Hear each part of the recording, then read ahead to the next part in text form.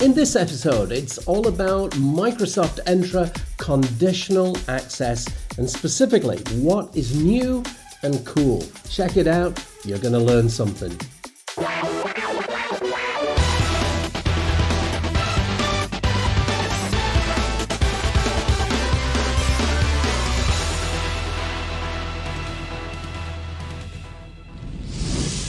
Greetings, everybody. Welcome back to the channel. Andy here. So nice to see you. I really do appreciate you dropping by.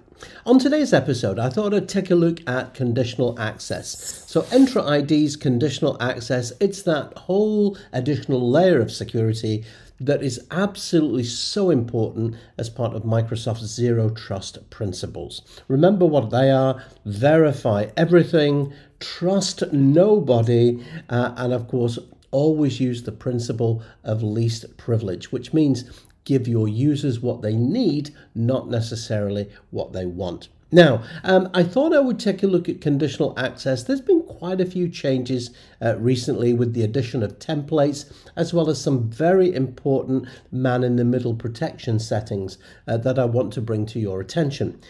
Now, just to mention, if you want to ask any questions about this or any of my other sessions, of course, just get those comments down below. And if you've not subscribed, bump the subscribe button and that like button. It does make a difference. Okay, so uh, I think without any further ado, I think let's jump in and let's check out what's new in conditional access. You enjoy. So conditional access continues to be an important component in Microsoft's zero trust infrastructure. Uh, and it continues to get improved. Uh, so I'm going to come into protection and I'm going to come into conditional access. And one of the first things that we'll see here is something that's kind of new. The uh, overview page continues to get an upgrade. And what we have, we have something called a policy snapshot. So I can come in and I can click onto a policy snapshot here and I can choose to have a look at this snapshot. So I'm going to click on to this uh, particular policy. I can go in, I can have a look at it. And uh, the nice thing about policy snapshots is, as you can see here, um, it was modified on a particular date. So what does a snapshot mean? Well, if you've ever done file snapshots, for example, in Windows, you know that you can have kind of the last change. So if you want to make changes to a policy, you can roll it back to a previous snapshot. How cool is that? And it's such a powerful feature. And you can also duplicate snapshots as well here. So that's such a nice feature. Uh, and a, again, a very welcomed feature here. So again, you can see here that we have that policy snapshot.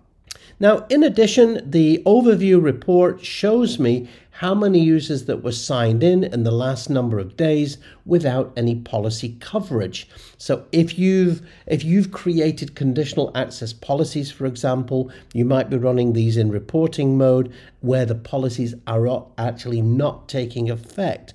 So it shows you kind of any deficiencies and likewise any devices. So, how many devices, or what's the percentage of your devices that are missing out on potentially important uh, security settings? Likewise, we can also do this with applications. Now, in addition, we also get the named locations here as well. So, named locations now supports IPv6, of course, and you can see that we have a description of various reports. So this new kind of overview page is really, really nice. Now, if I click onto the coverage tab here, you can see the different applications and the percentage of cover, coverage uh, that users are not covered. Now, again, in this case, most of my users are not covered because this is just a simple demo account. But here, it would be very useful to know that, oh gosh, only 50% of my users are covered or only 50% of my devices are covered because it helps you enforce conditional access uh, policies stronger. In addition, we also have the new monitoring tab, which is currently in preview. And you can see here that we have a number of different filters. So for example, you can filter by authentication strength. You can filter by the number of date ranges, either back to 30 days or the last seven days. And you can also show all. And of course, one of the cool things is you can also reset the filters and you can export any of those settings.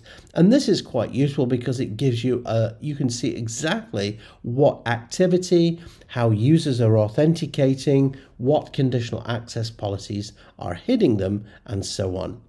Now, it's really nice to see that you can also create a new policy from here, as well as a policy from template. And again, this is just essentially a shortcut and it will take you there. Now, in addition, um, I'm going to click onto policies. So some of the new policy settings that we've got, um, here I've got a new policy called the CPH policy. I was recently in Copenhagen, you may know. Uh, and so I've basically created a policy here for all my users, and I'm targeting a specific resource. So as always, I could do all cloud apps, or in this case, just specific apps. And one of the things that's really nice is we can now um, not just do specific kind of Microsoft applications, but we can also do specific portals as well. So I've uh, I've already got Microsoft 365, but I could require, for example, multi-factor authentication for administrators gaining access to any of the admin portals but also check it out. We can now see, for example, the reporting pages, the identity, the new identity governance features in the Compliance Center. And again, you've also got this is Azure Advanced Threat Protection, aka Microsoft Defender. So, not rather than just all of the admin portals, you're, you're going to start seeing individual admin portals coming in in the next few weeks. So that's really, really interesting. So in this example, you can see that I've got one that says Office 365. And again, I can come into the conditions. The conditions are pretty much the same here. So again, we can establish a, a user risk, for example. So for example, if I say I want a, a user risk of low, so if this is for, let's say, my sales staff, I'm going to have a user risk of low, which is important in this demo anyway. Now, um, the next thing then is you can also say uh, what device platform. Now, one of the issues that we currently have in cybersecurity world is a potential um, man-in-the-middle attack. So how can we potentially thwart a man-in-the-middle attack? And essentially, what is a man-in-the-middle attack trying to do? Well, typically, um, they're trying to phish you. Now, uh, hackers will either phish you to obtain your credentials, or what they'll do is use a, a technology that will essentially capture your cookie, that means your authentication cookie, and replay it back. So how can we thwart that type of attack? Well, in this case, you can see that I'm going to choose a Windows device for those specific users and for those users accessing Microsoft 365 or that really important admin portal that I just said. Again, we can set a location. So in this example, I might say, do you want to uh, any location or just trusted locations, for example?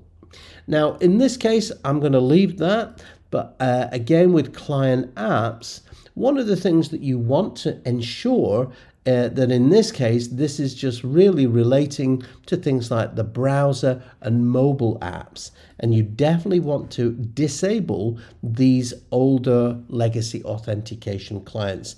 Now, again, if you're still using these, if you're in hybrid, I recommend that's fine, you can keep them, but I would put these on a separate conditional access policy just for improved security.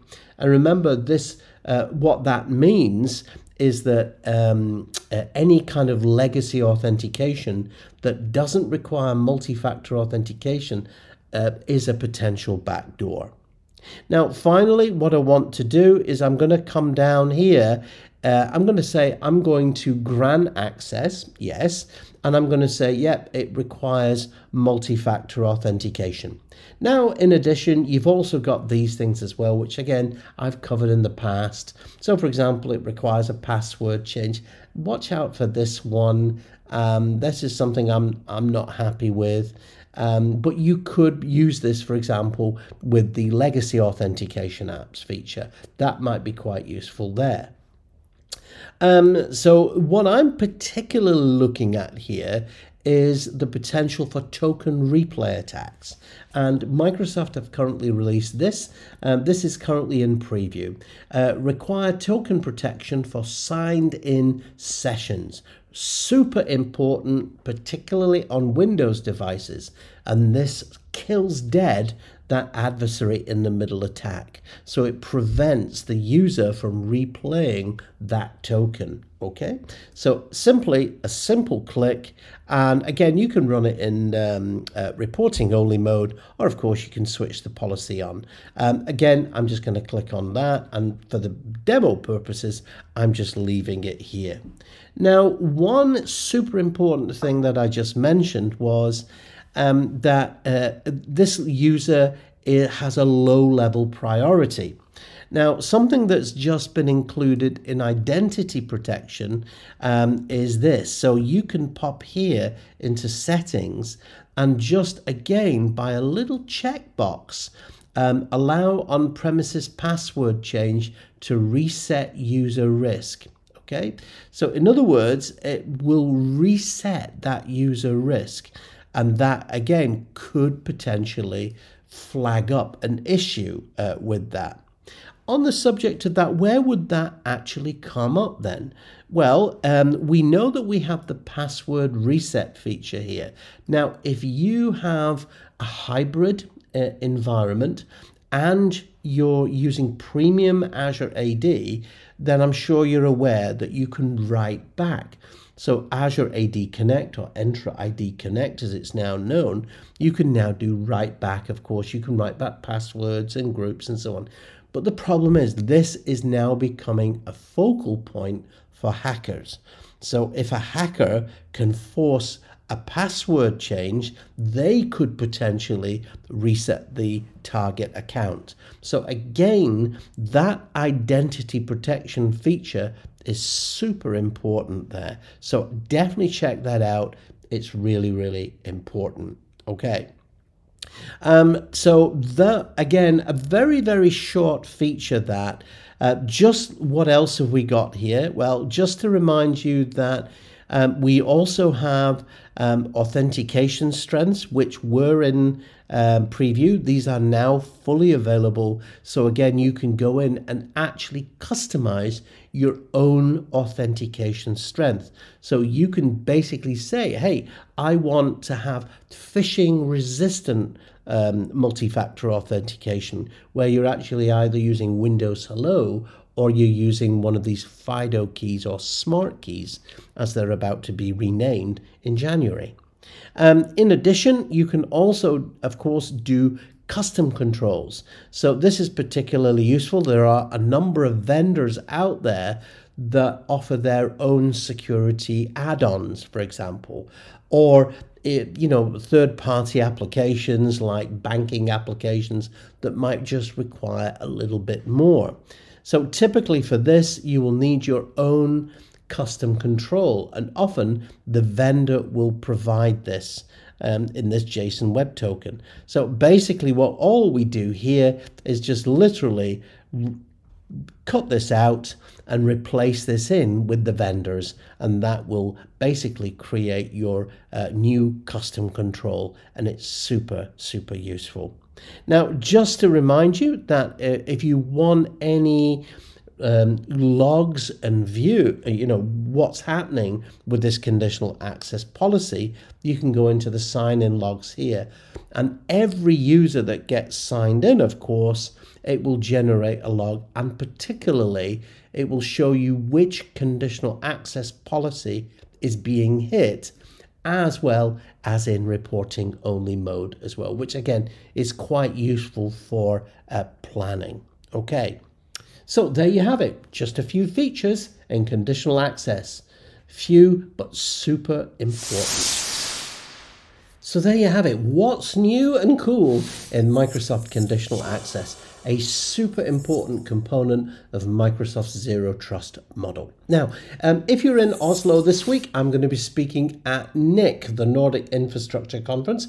And just a reminder that if you're in Amsterdam on uh, between the 27th and the 30th of this month, then I'm going to be speaking at ESPC, the European SharePoint Conference, and all things Microsoft 365 and it looks like it's going to be a really cool conference. So I look forward to seeing you there. That's it for today. Any questions and comments, as always, get those down below, and I'll see you next time around. You stay safe. Thanks. Hey, thanks so much for dropping by today. Here's a couple of videos that you may enjoy, and while you're here, go ahead, click on the subscribe button, and you won't miss out.